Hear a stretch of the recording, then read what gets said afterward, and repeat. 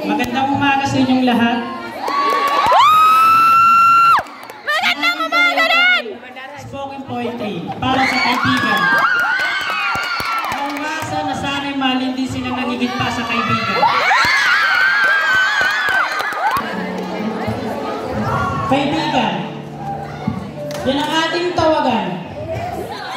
Pero tuwing ang aking kamay ay iyong hawakan, hindi na magpalagay ang aking kalooban.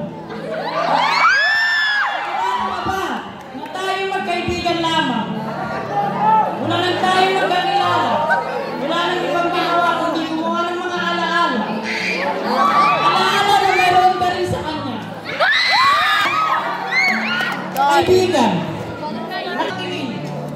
Nakita ko siya. Ang lalaking sa tingin ko ay mahal mo pa. Mahal mo pa ba o naghihilom na? Nalimutan mo na ba o pilit mo pa rin inaalala? Ang nakaraan yung nagbigay sa'yo ng panandaliang saya. Na ngayon ay parte lamang ng iyong alaala. Tanong na diretsuhan, sino bang mas matimbang? Ako ba na iyong kaibigan? O siya na parte lamang ng iyong alaala?